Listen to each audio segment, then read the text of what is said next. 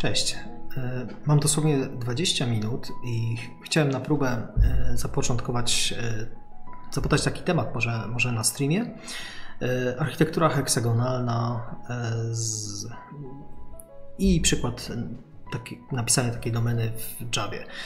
Jestem ciekaw, czy w ogóle Was te tematy interesują i, i, i jak to się przyjmie, więc dosłownie mam 20 minut, więc spróbuję tak naprawdę na szybkiego przejść przez, przez to, e, czym jest ar- architektura heksagonalna, jakie ma wady, jakie zalety e, i spróbujemy jakiś tam przykład dzisiaj napisać taki, taki na live. Sami zobaczycie, jak to mniej więcej wygląda. E, Dodam, że jest to mój w sumie pierwszy stream, więc Więc mogą być różne wpadki tutaj z jakością wideo lub jakimś zrywaniem streamu. E, To wszystko dzisiaj jest na próbę. Jeśli się spodoba, to, to, no to fajnie. Ok, to może zacznijmy po kolei od, od tego, czym jest architektura heksagonalna. To jest taki, można powiedzieć, trochę nowy, nowy trend e, e, i spotykam już coraz więcej aplikacji napisane w, w tej architekturze. No dobrze, ale, ale zobaczmy najpierw. Po wyszukaniu w Google em, architektury heksagonalnej, jeśli się interesujecie tymi tematami, to pewnie trafiliście już na, em, na tę stronę i, i ten rys, e, rysunek. Przejdźmy do tego bardziej zaawansowanego rysunku, najbardziej zaawansowanego, czyli tego. E, Jest jeszcze jedna wersja tego, tego, tego rysunku, jeszcze bardziej zaawansowana. Natomiast e, jak dla mnie on strasznie, strasznie zaciemnia, mm, zaciemnia obraz i chciałem Wam trochę własnymi słowami wytłumaczyć, mm, jak można e, łatwo wejść w architekturę heksagonalną, jak ją łatwo, jak ją łatwo zrozumieć.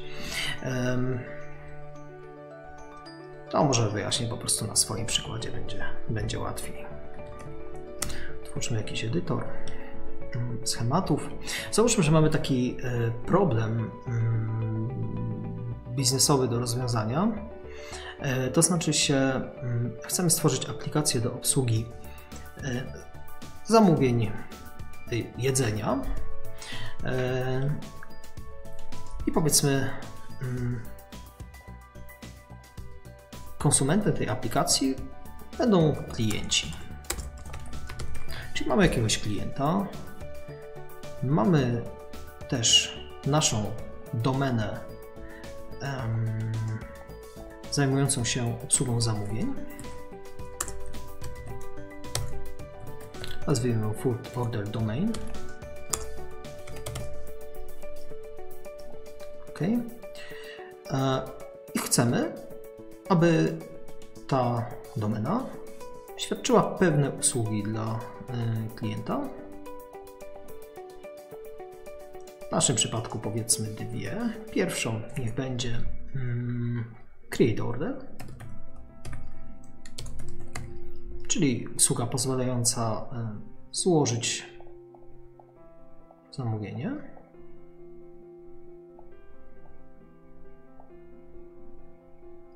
OK. I jeszcze jedno. Powiedzmy pozwalająca sprawdzić status zamówienia. To będzie. Nazwijmy ją Get Order State.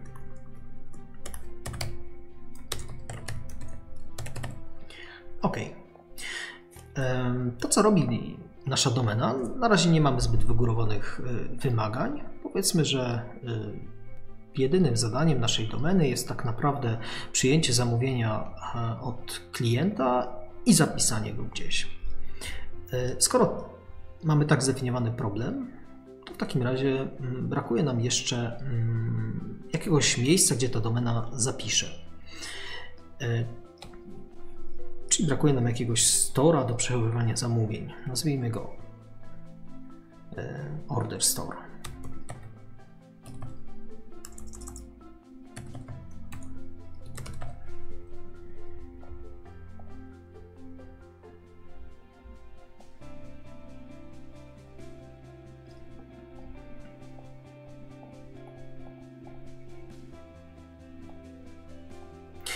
Tak naprawdę to chcemy tu pewne usługi mieć. E, to jest ogólne pojęcie Stora, natomiast chcemy mieć tutaj pewne, e, pewne mm, tak naprawdę powinniśmy to rozbić na usługi, które, które, mm, które będą potrzebne naszej, naszej domenie do jej właściwego działania. W naszym przypadku no, będziemy chcieli na pewno zapisać takie zamówienie, czyli zrobimy sobie save order. I myślę, że będziemy chcieli też wczytać takie zamówienie z tego stora.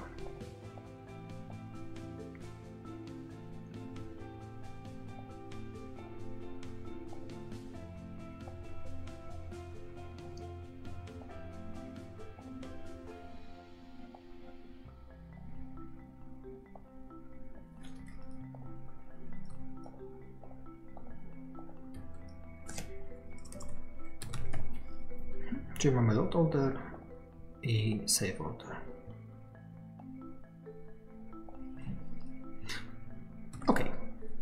I mamy tak, tak przygotowaną kontrolę z, z przyzwyczajenia. Mamy tak przygotowaną, um, mamy tak, tak zdefiniowaną e, naszą domenę. E, I tak naprawdę um, i teraz jak ją przenieść na architekturę heksagonalną? Otóż w całej architekturze heksagonalnej chodzi o to, że mamy pewną domenę, bardzo zamkniętą. Cała logika tej domeny skupia się, cała logika działania skupia się w niej. E, natomiast e, na zewnątrz tej domeny wystawione są pewne mm, primary ports, czyli to, co jest po lewej, czyli świadczone usługi, oraz coś, co nazywamy secondary ports, czyli pewne mm, elementy, których, czy usługi, których nasza domena wymaga, aby prawidłowo wykonać swoje zadanie. Czyli to jest, są primary ports po lewej stronie i secondary ports po e, prawej stronie. E, w środku mamy naszą logikę biznesową. E, I mam nadzieję, że widać to już w tym momencie, że, że mamy tak naprawdę bardzo dużą dowolność. Może inaczej, mamy, mamy fajnie odseparowaną logikę biznesową, czyli, czyli jakie świadczenie usługi create order czy get order state na bazie jakiegoś, jakiejś usługi save y, order lub load order, od tego czym tak naprawdę te save order i load order y, są. Czyli nie musimy znać świata zewnętrznego poza, poza tą naszą domeną, y, aby właściwie wykonywać zadania wewnątrz domeny. I teraz e, tę część nazywamy częścią domeny, natomiast tę część tutaj po prawej, czyli jakiś, nie wiem, powiedzmy e, baza danych, która, która może świadczyć tę usługę save order, czyli może być, może być adapterem tego portu.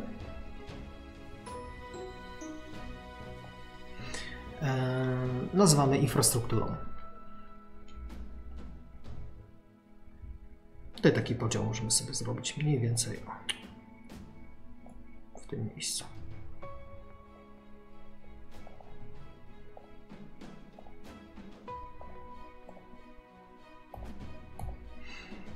Gdzie po tej stronie mamy domenę. Tej stronie mamy infrastrukturę.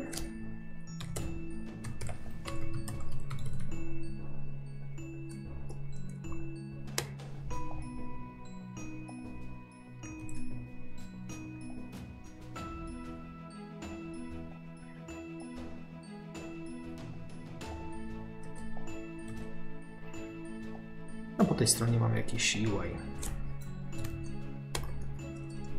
Ale to tak naprawdę też jest To też jest część infrastruktury. Ok, myślę, że e, load order e, może być też przez tą samą bazę danych na przykład reprezentowany, może na przykład będziemy chcieli sobie zrobić e, mm, jakiś store w pamięci. Ok, przejdźmy zatem do implementacji, do szybkiej implementacji y, tej oto domeny w czystej Javie. Otwieramy IntelliJ IDEA.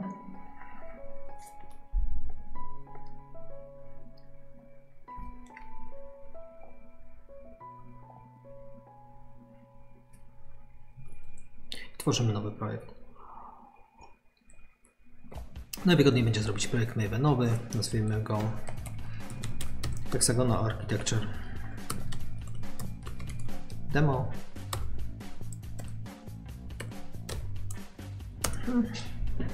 Zwykły projekt Mavenowy. JDK 11.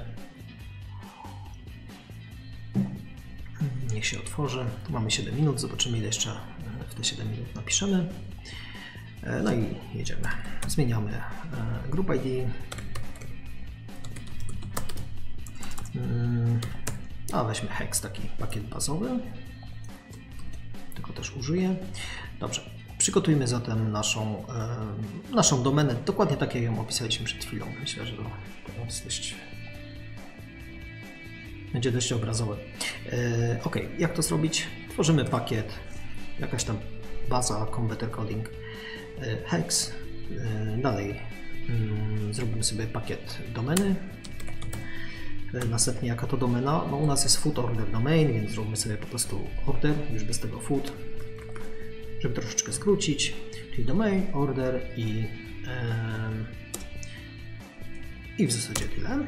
To jest nasz główny pakiet domeny. Chcielibyśmy, aby nasza domena miała mm, teraz powiedzmy porty, które tu zdefiniowaliśmy. W takim razie w pakiecie ports port no nazwijmy to food order service.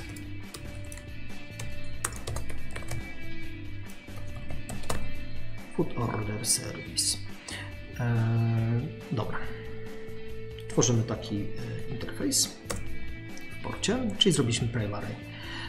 Aha, porty i jeszcze źle go umieściłem, bo to jest oczywiście port primary.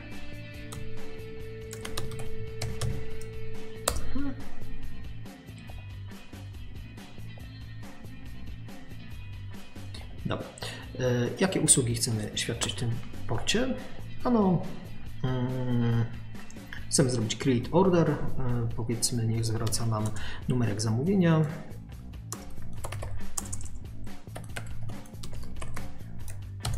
create order i tu sobie um, jakiś powiedzmy dish name czyli co sobie zamawiamy. Świadczymy również drugą usługę, patrząc na patrząc na nasz diagram get order state.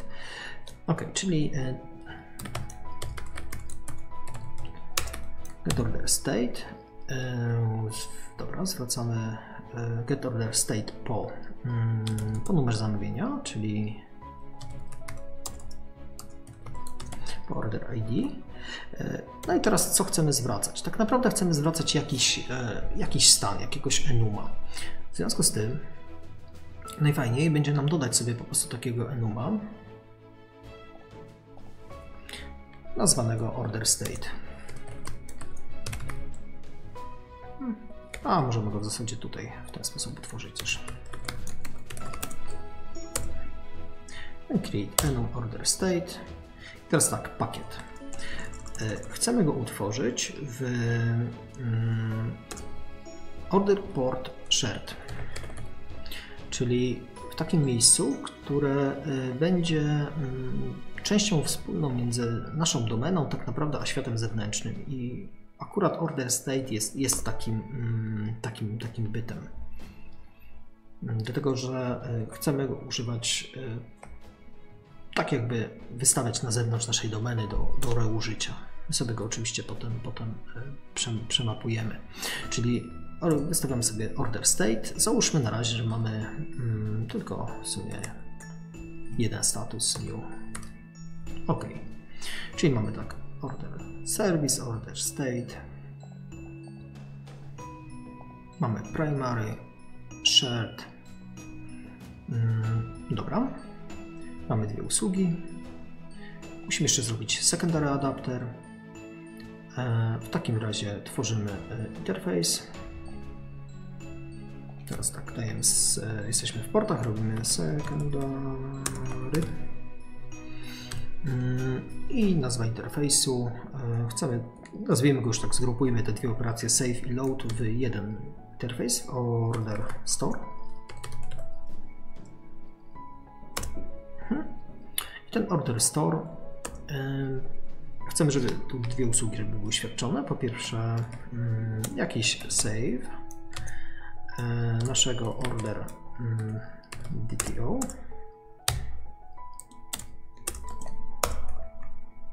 Oraz chcemy taki sam mieć order DTO load po order ID. Mhm. E, I teraz tak, e, te DTOsy, które tu mamy, Mm, również tworzymy w, w folderze shared, dlatego że to jest coś na zewnątrz. Y, czym innym będzie order w samej domenie, a czym innym będzie taki order, którego używamy do komunikacji y, czy ze storem, czy z tymi interfejsami do, do, do wejścia. Więc y, utwórzmy sobie klasę, tą order store, natomiast order z DTO natomiast tworzymy ją w, tutaj w shared. No. Dobra. A za chwilę sobie zdefiniujemy, czym jest ten DTOS. Czyli mamy już tak, e, food service, mamy już order store, mamy DTOS, mamy order state. W takim razie przejdźmy do tego, do tego mm, jeszcze do, do fasady. Czyli fajnie byłoby, żeby nasza domena miała taki jeden punkt e, dostępu. Fasadę. Nazwijmy to order facade.